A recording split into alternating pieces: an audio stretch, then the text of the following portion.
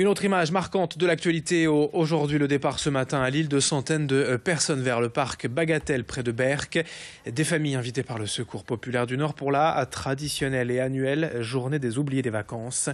Dans la région, un enfant sur trois ne part pas en vacances durant l'été. C'est pour cela que l'association a mis en place, il y a près de 40 ans, cette journée. Un temps d'évasion et de détente, bienvenue pour ces familles défavorisées. Ce matin, sur ces images, sept bus sont partis vers la côte d'Opale, soit près de 750 personnes.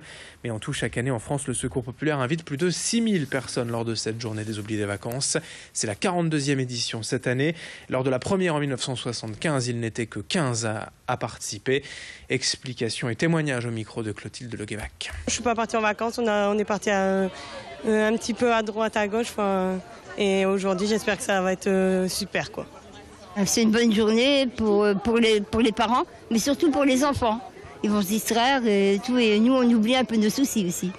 Ah, c'est très bien, c'est très bien. Maintenant, on attend le bus pour pouvoir monter. On a accueilli un enfant russe euh, pendant trois semaines. Et en fait, cette journée, c'était pour, euh, pour l'emmener au parc d'attractions, pour qu'il découvre un peu, parce qu'enfin, peut-être qu'en Biélorussie, ils n'ont pas les trucs comme ça. Alors. Je suis trop content, mais c'est un peu long.